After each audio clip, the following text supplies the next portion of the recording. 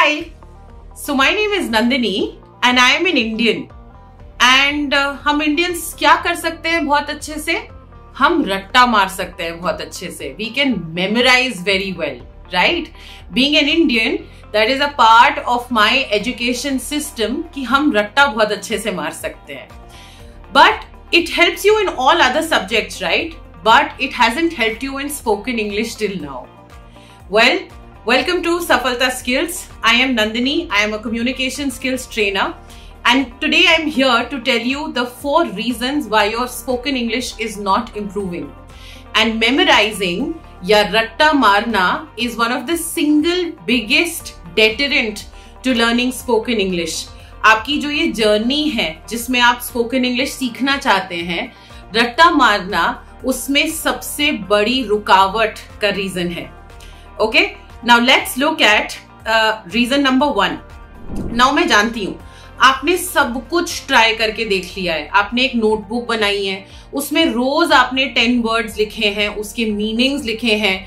You try to make small sentences you try to speak slowly but you not been able to learn English so the first reason why some of you may not have uh, understood spoken english or some of you are not being able to learn spoken english is सबसे बड़ा रोग क्या कहेंगे लोग ये एक चीज़ है जो मेरी मम्मी अक्सर यूज़ करती हैं काफ़ी चीज़ों के लिए हमें बहुत डर लगता है जजमेंट का। हमें बहुत डर लगता है कि हम अपना मुँह खोलेंगे और पता नहीं लोग हम पे कैसे हंसना शुरू कर देंगे।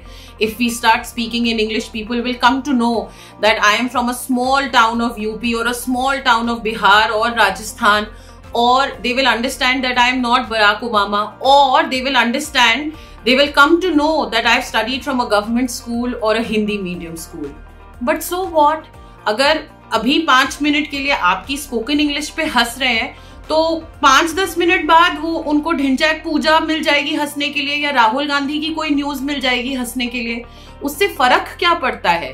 The important thing is that we must keep at it अगर डर लग रहा है तो डर का और कोई रीजन नहीं होता है सिवाय जजमेंट के। और अगर डर लग रहा है और उसको हमें मिटाना है then the only way to Get a control over that fear is to face it and let people say whatever they have to. A child who falls seven times will get up the eighth time and will not give up until they have learned English.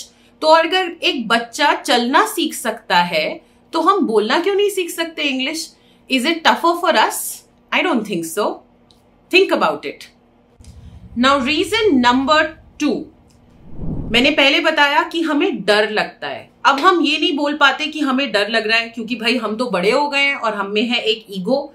तो हम इसको नाम देते हैं pseudo patriotism का। Patriotism का क्या मतलब है?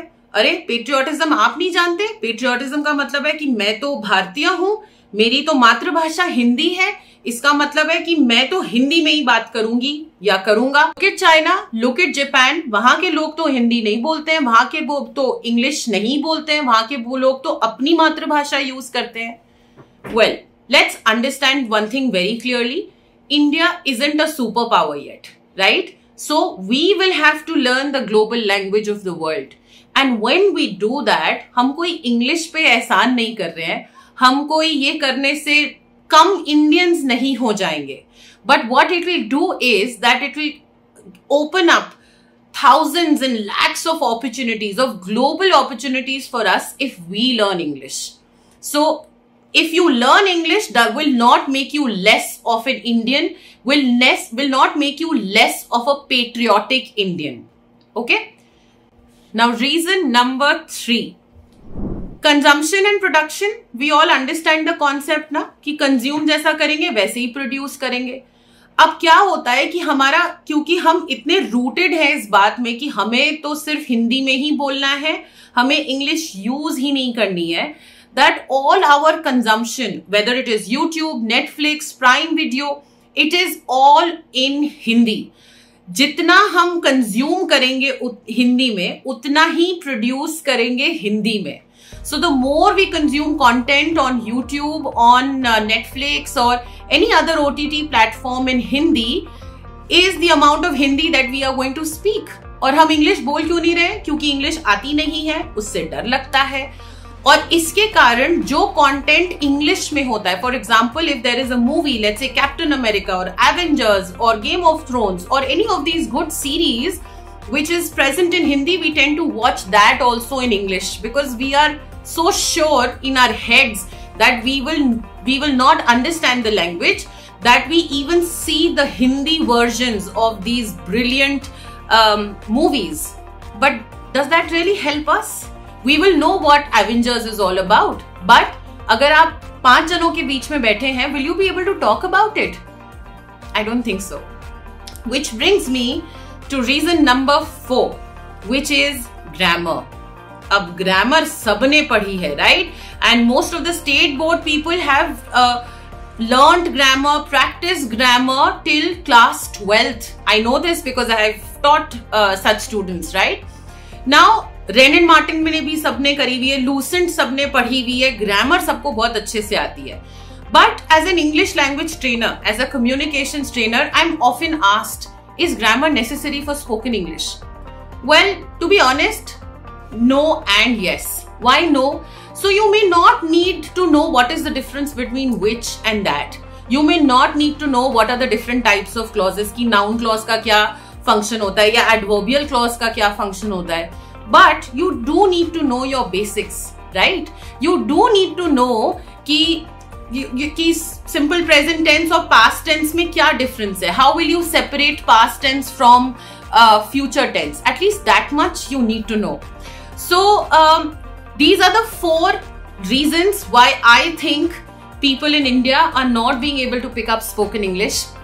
And here I am bringing you this series uh, where we will talk about reasons why we can't understand spoken English, why we cannot pick up spoken English. And I will also give you tips, strategies, and ways to practice spoken English. Even if you do not have an institute around you, you have no classes, and you don't have anybody around you to learn English as well.